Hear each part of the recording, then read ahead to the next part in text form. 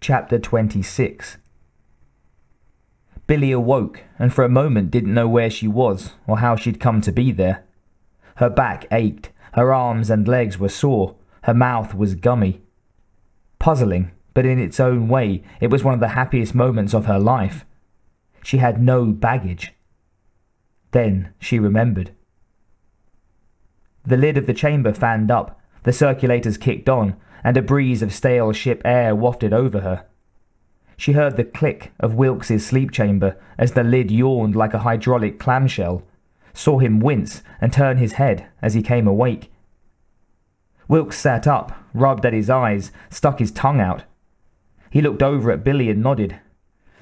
Time to rise and shine, he said. His voice was a hoarse croak. Another glorious day in the Corps. Billie stared at him. That's what my old platoon sarge used to say. Every time we finished a session in one of these suckers, Wilks said. What happened to him? Something he disagreed with ate him. The two of them padded to the showers and cranked the sprayers on. Billie stripped unself-consciously and stepped under the water. The spray was more of a drizzle, but the water was hot, and she felt some of the soreness from the months of sleep ebb under the warmth. Wilks looked at her, taking in her nakedness, then turned back to let the water soak his hair and run down his face and body. Billie saw the scars on his body, some worse than the one on his face. Marks of combat, she supposed, either in wars or pubs, or on some street somewhere. She wondered why he hadn't had the scars resected and wiped. Even with the marks on his body, he was in pretty good shape for somebody old enough to be her father. Nice ass.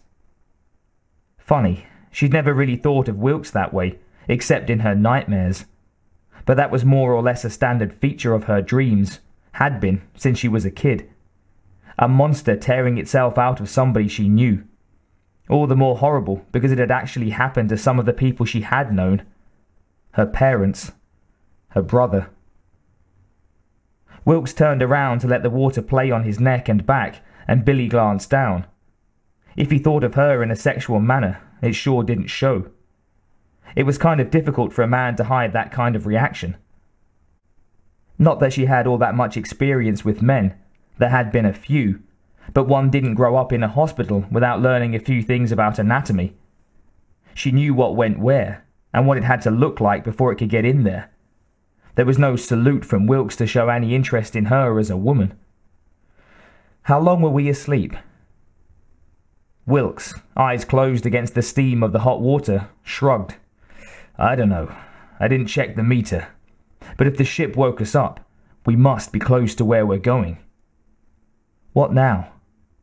We finish our showers, get something to eat, figure out our next move after that one thing at a time. Billie nodded, leaned forward a little so the water could trickle down her spine. Maybe that was the only way to get through life without going crazy. Take it one thing at a time. Little bites you could chew without choking.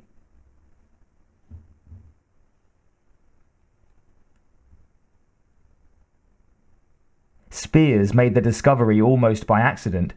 He'd been awake for six hours, had cleaned up and eaten a meal, dressed in ship fatigues and run a few system checks. This latter was more for his peace of mind than anything else, the ship's operational computer being sufficient to handle virtually all the chores without regulation from him. But being a careful man, he occasionally checked to be certain things were running as they should. In this case, things were not running as they should. A tracking system on the cargo ship floating there a couple of clicks behind the Jackson said that two of the sleep chambers had been activated and utilized during the trip through hyperspace. Water had been drained from the storage tanks and then fed back into the recycler. Power consumption was up slightly from that necessary to maintain the troops in their suspension tanks. Oxygen consumption was also higher than it should be. On the face of it, there were two scenarios that came to mind one, a malfunction, either in his computer or the internal systems on the MacArthur. Or two, somebody unauthorized was on that ship. They'd slept in the chambers and were now breathing the air, drinking the water, and using the lights. There would be food stores being eaten too. Other than the drive, Spears had not thought to slave the ship's internal controls to his board.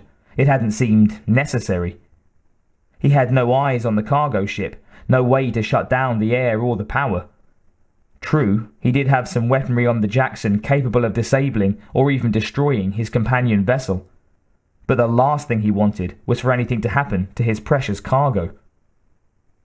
He leaned back in the form chair and looked at the computer generated info crawl. All right, so there were a couple of stowaways on the ship behind him.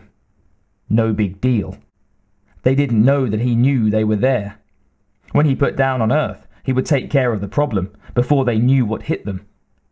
A pair of deserters or frightened human troopers wouldn't give him any trouble. A concussion grenade through the hatch, and anybody standing around would be out of it. The tactical advantage was his. They were still a couple of weeks away from landing. He had plenty of time to plan the best way to take care of snivelling ship rats. Meanwhile, there were other things to do. He had to get himself prepared for the coming battle. War was imminent, and about damn time, too.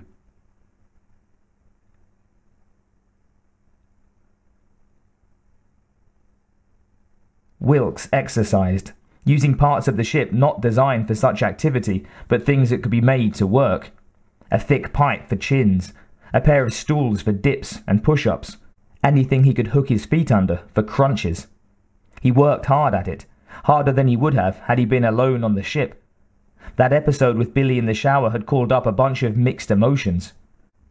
On the one hand, he remembered her as a ten year old child, crying in fear as he saved her from the death her parents had suffered. On the other hand, standing next to her in the shower, he saw that she was a grown woman, attractive, and it had been too long since he'd been with somebody that way. Billie had done it with Bueller. Wilks knew that. But Jesus, he was old enough to be her father, and for a brief time had more or less functioned in that role. True, he hadn't seen her for a decade or so after he rescued her, and that child and this woman hardly seemed related. Still, it wouldn't be good to let these thoughts continue. Not at all. He finished his third set of 50 crunches, his belly burned, the muscles dancing on the edge of cramps. He lay on the deck, sweat beaded all over him. He'd been working out for about an hour. He was done. He'd run the water cold in the shower this time.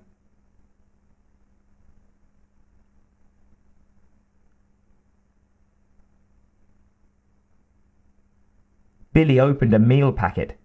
The reconstituted and heated food in the plastic container smelled like meat and gravy, with vegetables on the side, though it was all Soypro.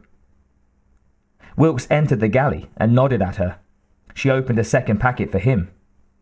They ate in silence for a minute.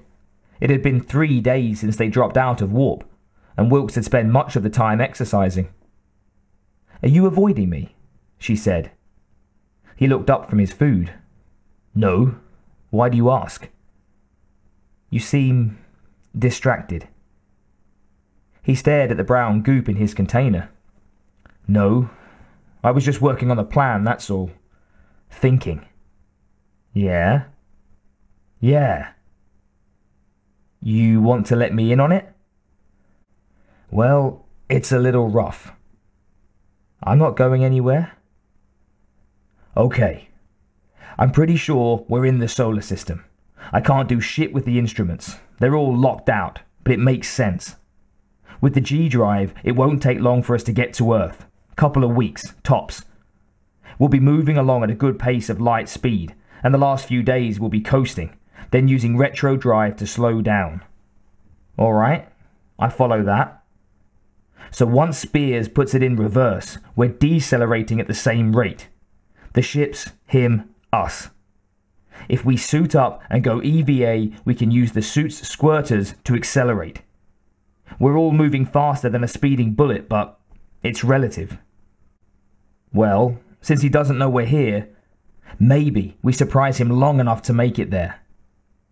Maybe. Uh, yeah. He'll have proximity mass detectors, plus radar, and Doppler and Luxflect. If he happens to be sitting in front of a sensor screen, he'll see us coming. Or probably there's an alarm rigged to tell him something is coming if he happens to be on the crapper. Then he shoots us to pieces, right? Maybe not. Maybe he just cuts the retros and leaves us hanging in vac with no place to go. Assuming our ship doesn't splatter us like bugs on a flitter's windscreen when it speeds up and zips on by. Why does this not sound like a good idea to me? Or we could wait until we get where we're going and clonk him over the head when he opens the door to our ship to let his tame monsters out to pee. That's Earth, right? Where there are a million more monsters, none of them tame. No thanks. All right. His detectors are likely set to pick up ship sized masses or stuff approaching at high speed asteroids, spacecraft, stuff like that. So, if we catch up real slowly, maybe the system doesn't kick in until we're right on top of him. Sounds kind of iffy. I could go down to the engine room and take a hammer to the drive. If it didn't go spastic and warp us into a subcompacted ball, which it could, maybe we could disable it and make him come to see what's wrong. He doesn't want to lose this cargo. I don't like that plan much at all. Me neither. So unless you've got something better, I say we wait until he hits the brakes and then we go to him. Billie sighed. It's always something, isn't it, Wilks? Never boring being around you. That's me. Life of the party.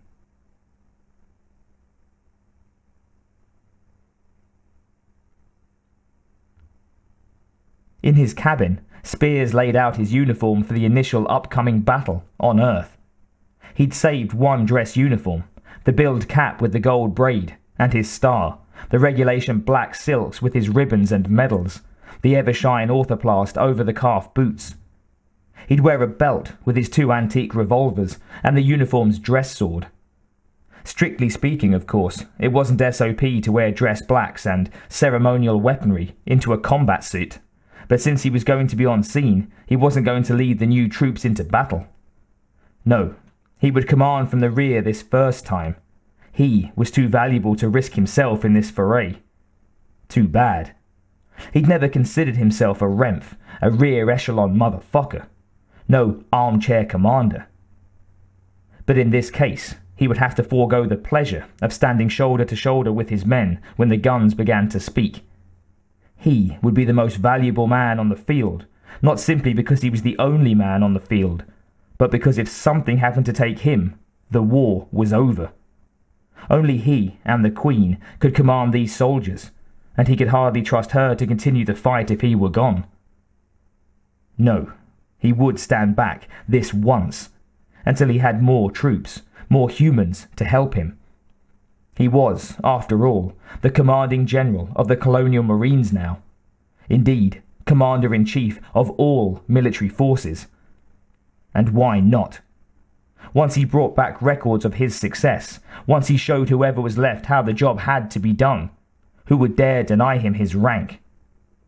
And if anybody could be that stupid, a wave of his hand would remove the obstacle. Sick 'em, boys.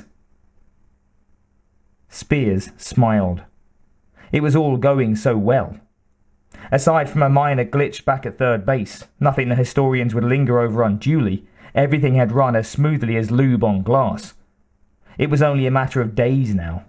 All the years of preparation were about to pay off. He rehung the uniform, put the sword and boots away. He had decided to land in South Africa a northeastern section of which was once called the Natal Province. In the late 1800s, the area had been ruled by a native named Cetshwayo, who commanded a large army of warriors known as the Zulu. They were fierce fighters, the Zulu, and there had been a lot of them. But even so, they'd been no match for the technologically advanced British when it came to war.